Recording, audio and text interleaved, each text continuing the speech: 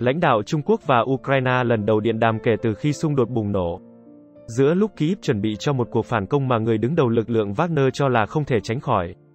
Chủ tịch Trung Quốc Tập Cận Bình và Tổng thống Ukraine Volodymyr Zelensky đã tiến hành điện đàm vào chiếu 26 tháng 4 theo đề nghị của ông Zelensky.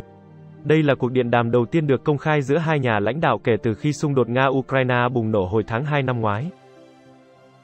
Theo thông cáo từ Bộ Ngoại giao Trung Quốc trong cuộc điện đàm, Chủ tịch Tập cho biết Trung Quốc đã luôn đứng về phía hòa bình và lập trường cốt lõi của Bắc Kinh là thúc đẩy hòa đàm.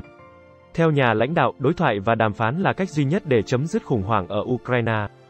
Và Trung Quốc sẽ cử một đặc phái viên về vấn đề Á-Âu đi đến các nước bao gồm Ukraine để trao đổi với các bên liên quan về một giải pháp chính trị cho xung đột.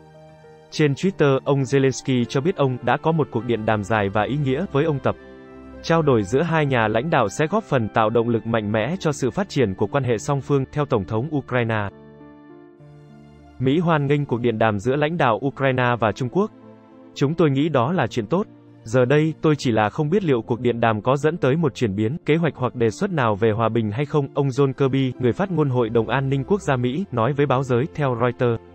Trong khi đó, người phát ngôn Bộ Ngoại giao Nga Maria Zakharova cho biết Moscow ghi nhận sự sẵn sàng của Trung Quốc trong nỗ lực thiết lập một tiến trình đàm phán, khi bình luận về cuộc điện đàm giữa ông Tập và ông Zelensky. Tuy nhiên, bà cáo buộc Ukraine từ chối bất kỳ sáng kiến hợp lý nào nhằm đạt được một giải pháp chính trị và ngoại giao, theo hãng tin TASS. Ukraine cũng đã bổ nhiệm đại sứ mới của nước này tại Trung Quốc Pavlo Ryabikin. Cảm ơn các bạn đã xem bản tin.